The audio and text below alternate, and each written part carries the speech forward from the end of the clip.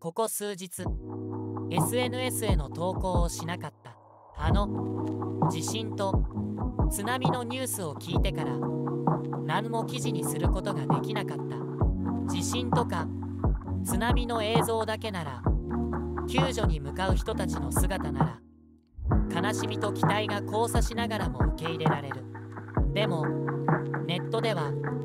それらの情報に混じって憶測で書いた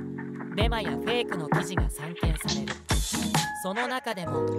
見るに耐えないほどの書き込みも例えば日本人もどきや外国人が火事場泥棒をするとかの差別と別視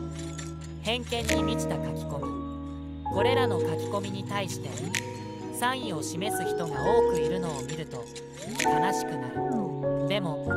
それを否定している人の書き込みも多く救われる思いです。例えば大津波警報が出されて避難を促すアナウンスが冷静さを欠いた感情的すぎるって批判がでもそれに対してあの声だから自分の母を急がせることができ救われたって書き込みもやっぱり当事者の声が一番心に突き刺さる。